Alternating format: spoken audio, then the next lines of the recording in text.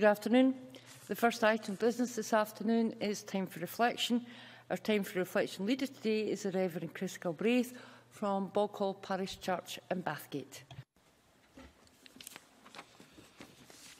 Presiding officer and members of the Scottish Parliament, thank you for this invitation and greetings from Boghall Parish.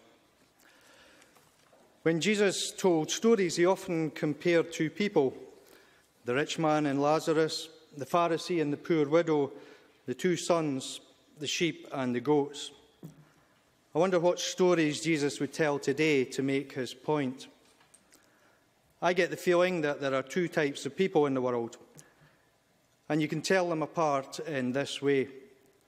If you're walking down the street and there's just enough room for two to pass, and a couple come towards you, what do you do?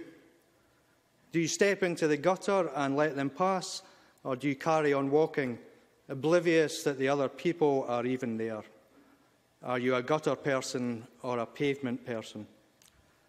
And if you're having to think about it, then you're a pavement person because us gutter folk don't need to think about it. The theologians, the philosophers, and the evolutionary biologists have been discussing human nature for as long as they have been around. The poets, too, have wrestled with what we are made for and how we should live our lives. Robert Burns' oft quoted line, to see ourselves as others see us, is still as relevant today as when he wrote it. Jesus said that we need to be taught how to see. He said, if your eye is healthy, your whole body is full of light.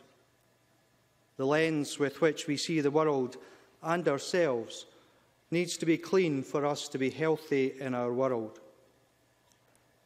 Thankfully, most religions are rediscovering their meditative traditions. It means that as well as finding stillness, that time to look inwards, to allow God in, we also end up looking outwards to the world and see it in a different way. It's not just about seeing ourselves as others see us, or indeed as God sees us, but it's also about seeing others as God sees them. Some Christians see the crucifixion of Jesus as the event which should have led to the end of all scapegoating. The cross says that scapegoating is a bankrupt system Pavement people or gutter people? I think maybe that's just really another way of judging folks.